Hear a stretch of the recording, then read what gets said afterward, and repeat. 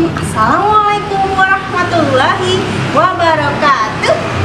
Nah, Selamat pagi semua. Anak kelas 2 Kelas 2 Usman, kelas 2 Umar, kelas 2 Ubay Semoga dalam keadaan sehat ya Selalu tetap semangat belajarnya Nah, Alhamdulillah hari ini akan belajar bersama Ustazah Indah Nah, belajar apa Ustazah? Nah, di sini kita akan memasuki tema baru. Tema 6. Nah, nanti kita akan belajar tentang hal baru. Tentang apa ya? Pembelajaran hari ini diharapkan anak-anak bisa menyebutkan uh, tata tertib yang ada di sekolah, ada di rumah. Nah, langsung saja ya pembelajaran hari ini kita akan belajar tentang tata tertib. Nah, sebelum memasuki uh, pelajaran hari ini, kita harus tahu apa itu tata tertib. Kemudian, kenapa ya harus ada tata ada tata tertib? Kemudian, contohnya apa ya? Nah, semua pertanyaan itu akan kita pelajari hari ini. Kita akan belajar bareng di sini. Belajar tentang tata tertib. Oke, yang pertama kita harus tahu apa itu arti tata tertib. Nah, coba anak-anak siapa yang tahu atau e, mengerti apa itu tata tertib? Bahkan mungkin anak anak-anak pernah melakukan tata tertibnya. Nah, ya benar.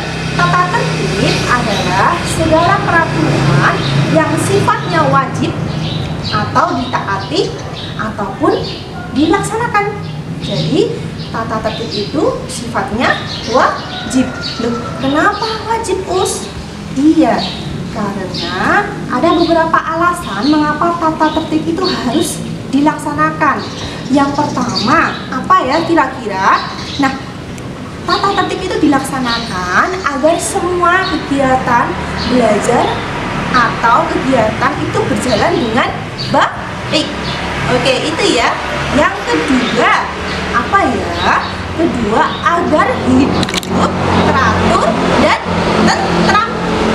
Kemudian, ada lagi yang ketiga, Om. Tidak menimbulkan konflik atau perselisihan antara teman sama teman, antara anak sama orang tua, agar hidupnya tentram. Yang keempat itu agar dapat membatasi suatu perbuatan yang akan dilakukan seseorang. Oke, itu beberapa alasan mengapa kita harus ber, e, menaati peraturan atau tata tertib yang ada di sekolah, ada di rumah, gitu.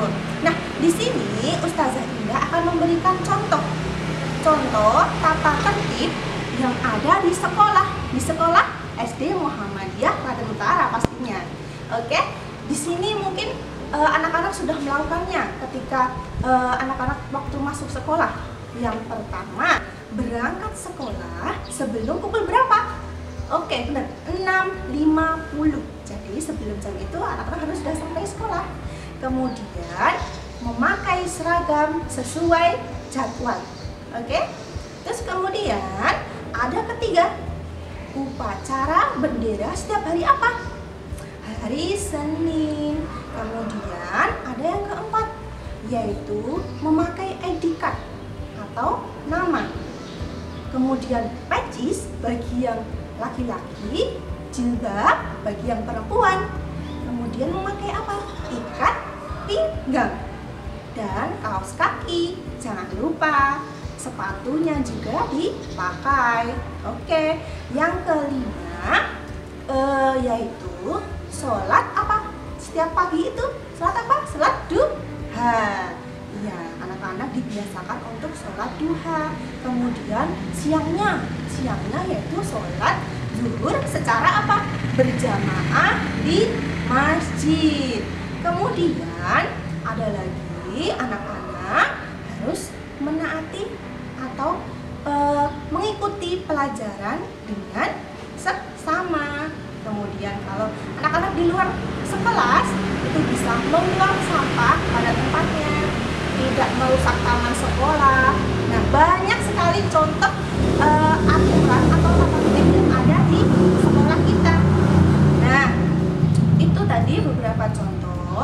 contoh aturan yang ada di sekolah. Nah, tugas anak-anak yaitu menyebutkan lima contoh tata tertib yang ada di rumah masing-masing.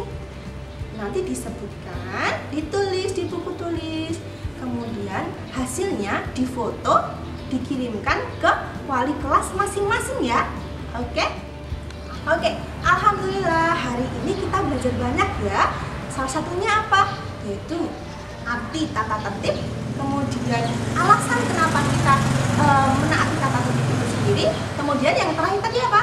Contoh dari tata tertib. Oke, semoga apa yang disampaikan Mbak Sida bisa e, diterima dengan baik oleh anak-anak ya. Oke, tetap jaga semangatnya, tetap jaga kesehatannya dengan cara apa? Dengan cara mematuhi protokol kesehatan, memakai masker, kemudian menjaga jarak, mencuci tangan dengan sabun. Oke, Ustazah sudah tutup. Apabila ada salah kata, maaf yang sebesar-besarnya. Wassalamualaikum warahmatullahi wabarakatuh. SD Muhammadiyah Klaten Utara cerdas, kreatif, berakhlak mulia. Bye bye.